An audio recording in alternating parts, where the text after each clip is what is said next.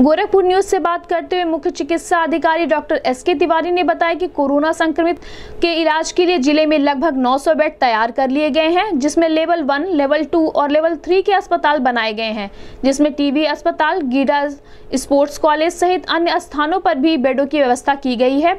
CMO ने कहा कि ज़िले में कोरोना इलाज के लिए समुचित व्यवस्था की गई है। कोई भी व्यक्ति अगर पीड़ित है तो अपना इलाज करा सकता है। इस संबंध में गोरखपुर न्यूज़ से बात करते हुए मुख्य चिकित्सा अधिकारी डॉक्टर एस के तिवारी ने कहा। देखिए लेवल वन का कोविड हॉस्पिटल जो हमारा चरगवा है थर्टी बेडेड और उससे अटैच फैसिलिटीज़ हमारी आ, 200 बेड रेलवे हॉस्पिटल और 250 बेड अब हमने एक्सटेंड कर लिया है। 250 बेड का हमारा राप्ती नगर में स्पोर्ट्स कॉलेज।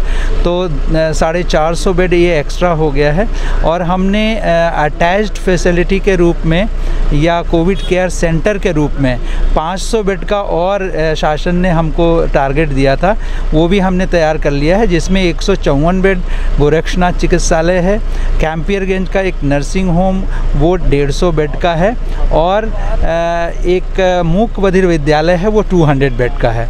तो इस तरह से वो भी हमारा 504 बेड के करीब तैयार हो गया है।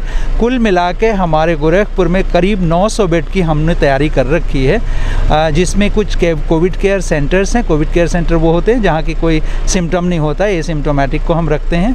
एल फैसिलिटी वो होती है जहाँ माइल्ड सिम्टम हम डील कर लेते हैं। और एल और एल दोनों हमारा बीआरडी है बीआरडी मेडिकल कॉलेज जब कोई ज़्यादा सीरियस होता है या रेस्पिरेटरी डिस्ट्रेस होता है, हम मैनेज नहीं कर पाते तो हम उसको बीआरडी मेडिकल कॉलेज भेज देते हैं। तो इस तरह से हमारे यहाँ 900 बेड की तैयारी हो चुकी है।